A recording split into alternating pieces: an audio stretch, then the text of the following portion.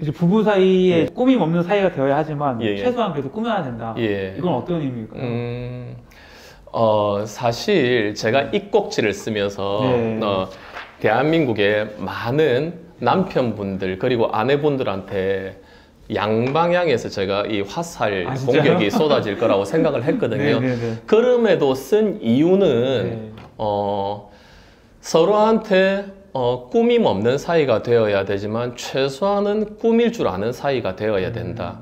어, 이 말을 자, 가만히 잘 생각을 해보면 음. 네네. 어, 그 의미를 아실 거라고 저는 생각을 합니다. 물론 음, 저도 아이가 둘 있지만 어, 첫째와 둘째를 낳고 어, 저희 아내가 이제 그 어, 뭐, 가물치도 해 먹이고, 네. 뭐, 곰국도 예, 해주고. 해가지고, 이제 젖잘 나오라고, 네. 예, 그렇게 했는데, 몸도 많이 불고, 진짜 애 하나 또, 애는 뭐, 새벽에도 몇 번씩이나 깨고 그쵸. 하니까, 네.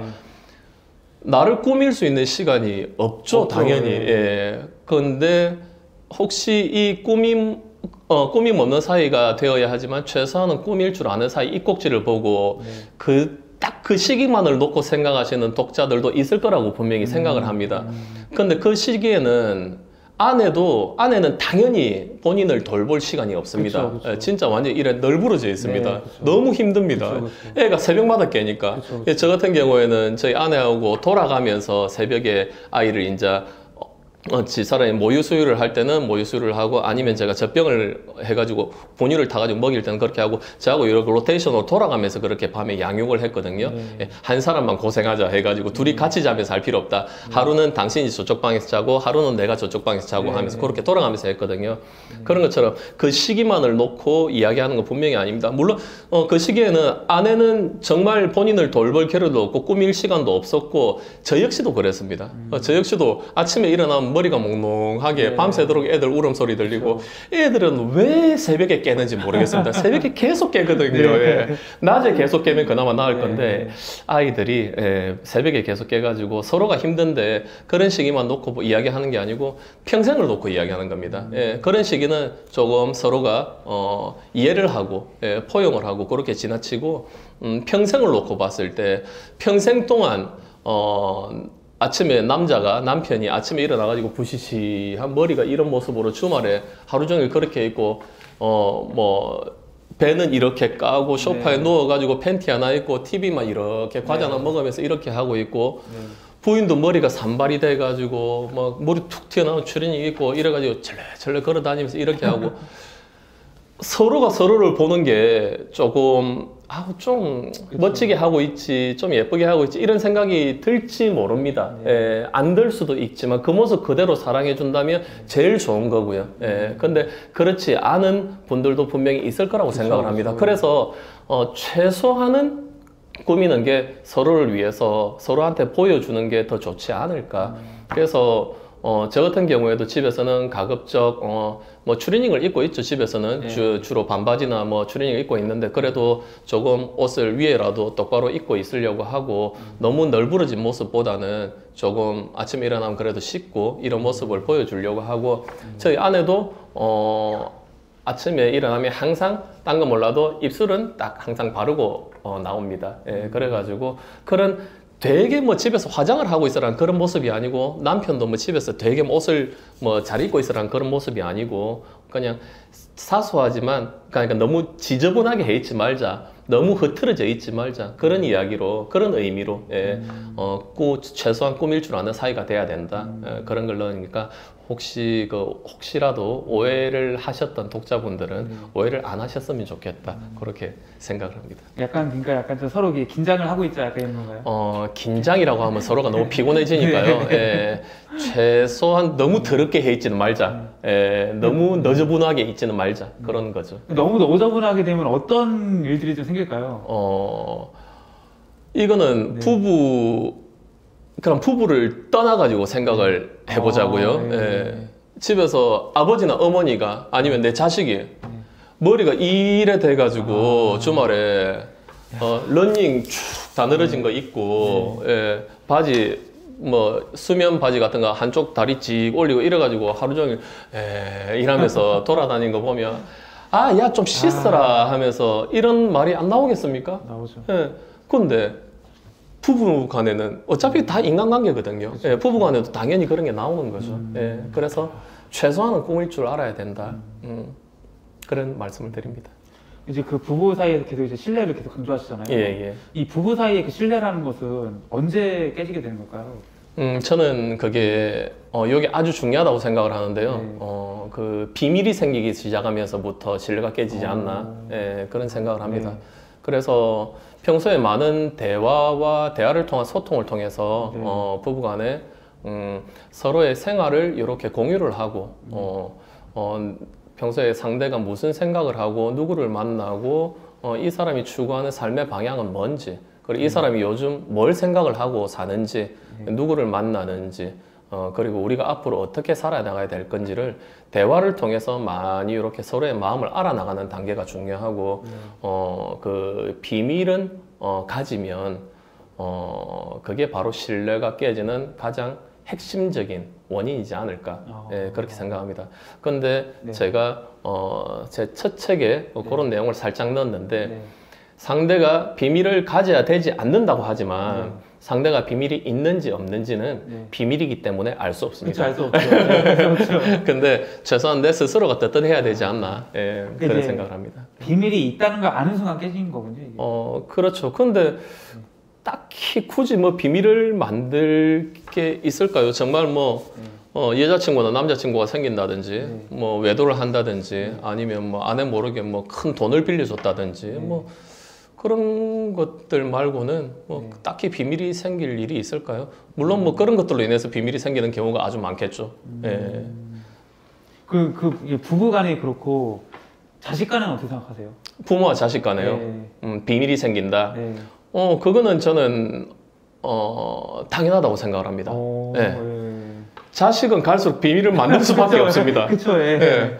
거기에 대해서 욕심을 가지고 너 왜 거짓말했어 비밀이 있어 이렇게 이야기하면 참 어리석은 부모가 아닌가 어. 예, 저는 그렇게 생각합니다 부부 간에는 비밀이 없어야 되지만 네. 자식이 부모에게 비밀을 가진다 그거는 어떻게 보면 당연한 게 아닌가 아. 그런데 그것도 본인의 아주 그 지극히 사소한 아 사소한 게 아니고 네. 어, 단어 선택을 잘못했습니다 본인의 아주 그 사생활 네. 예, 본인의 아주 정말 비밀스러운 그런 것들을 하는 거지 네. 숨기는 거지 어, 삶의 전반적인 부분을 다 비밀로 하지는 않을 거라고 생각을 하거든요. 평소에 소통을 잘 하면서 산다면. 음, 본인의 뭐 연애사라든지 본인의 뭐 그런 사생활을 부모한테 다 이야기할 거라고 생각을 하는 부모는 좀 어리석다. 어, 그럼 기대하면 안 된다. 예, 그런 거는 뭐 자식들도 개인 프라이버시가 있으니까. 아. 네. 예.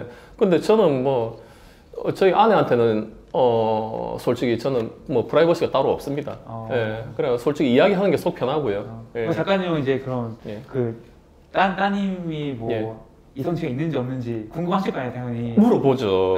예, 항상 물어보는데 요새 남자친구 생겼나 네. 물어보는데 없어 네. 하면서 그러는데 네. 어 그래 진짜가 하면서 그러면 아우 진짜 없어 하는데 근데 아직까지 없는 것 같, 없는 것 같습니다. 근데 뭐 있어도 뭐 할 수 없고요. 그게 자연스러운 현상이니까 저도 중학교 다닐 때 뭐 여자친구를 만났고 네. 고등학교 때도 그렇고 한데 집에 이야기 안 한 적도 있으니까 뭐 네. 그거는 뭐 당연한 어, 삶, 삶의 그냥 뭐 진리, 법칙 당연히 받아들여야 되는 게 아닌가 그렇게 생각. 그거를 이제 뭐 파고 들어가진 않는다 이런 말씀이시죠? 그 파고들면 싸움밖에 안 나죠. 그렇죠. 예, 특히 부모 자식 간에는 특히 사춘기 자녀와 사이에서는 싸움밖에 안 나죠. 음. 예.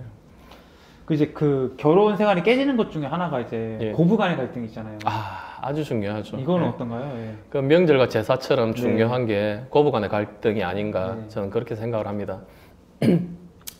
제일 고부간의 갈등에서 제일 중요한 거는 저는 남자의 역할이라고 어, 생각합니다. 예. 예.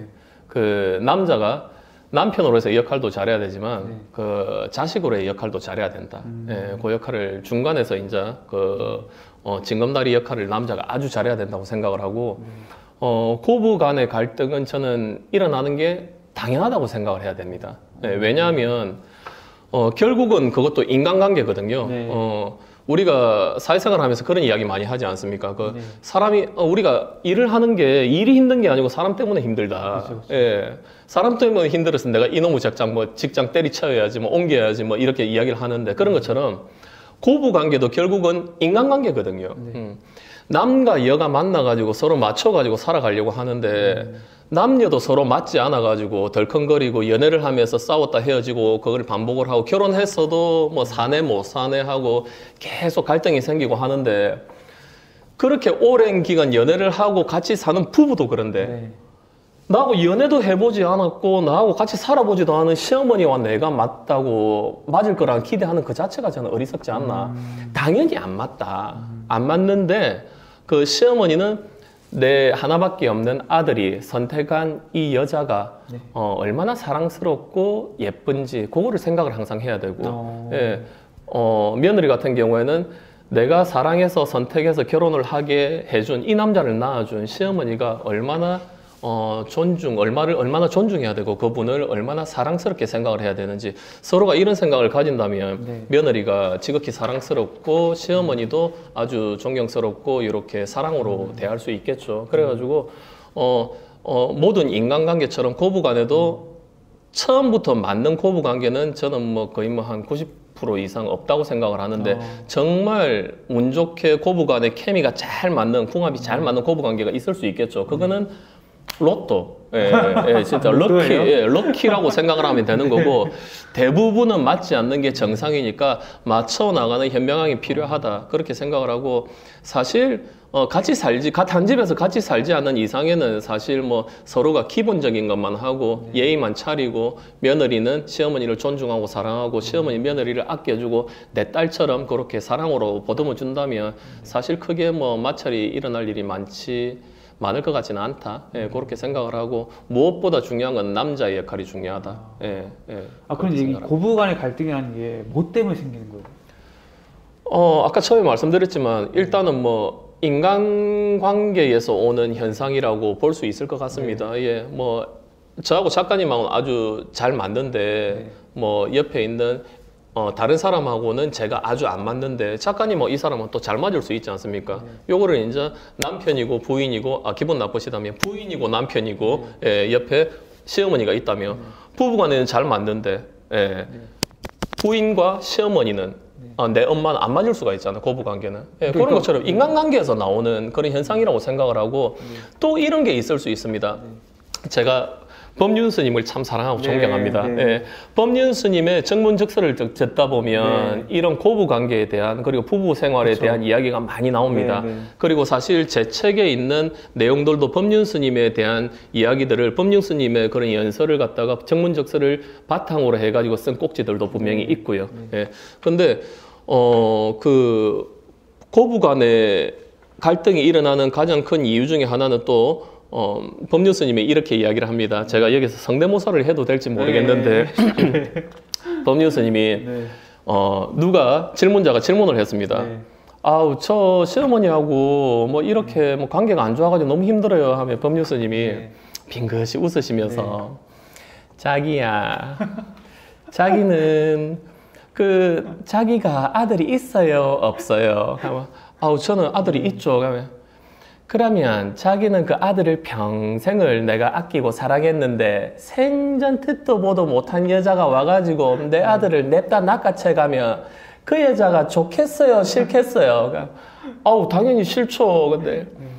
고부간에 오는 갈등이 거기서 비롯되는 게 많아요 어?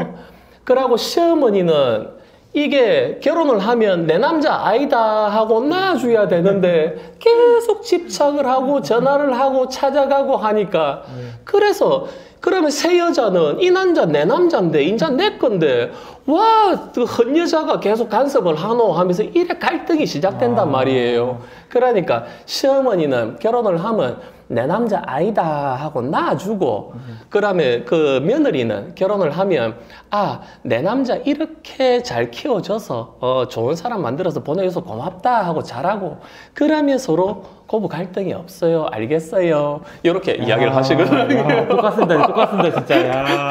근데 제가 이 법륜스님 성대모사를 뭐 솔직히 비슷하지는 않지만 노력은 많이 하는 편인데 법륜스님 성대모사를 한다고 하면 저희 그 아내와 아이들이 네. 아 듣기 싫다고 하지 말라고 네. 사실은 제가 목소리를 더 가늘게 해가지고 하는 네, 거든요. 네. 그래가지고 어.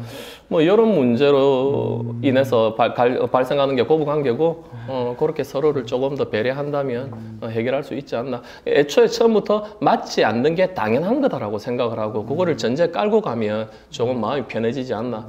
그러고 한 집에 살지 않는 이상 매일 보는 게 아니기 때문에 서로 어, 기본적인 예만 하면 예만 가지고 대하면 좀 갈등을 극복할 수 있고 그런 좋은 방법을 가질 수 있지 않을까. 그리고 만약에 고부 관계에서 조금 문제가 생긴다면 네. 어 저는 전문 상담가가 아니니까 부부 관계 상담사나 아니면 뭐 법률스님 같은 어 네. 그런 훌륭한 분이나 그런 분들한테 조금 이렇게 상담을 들으신다면 어. 좀 극복할 수 있는 좋은 계기가 되지 않을까 그렇게 생각합니다.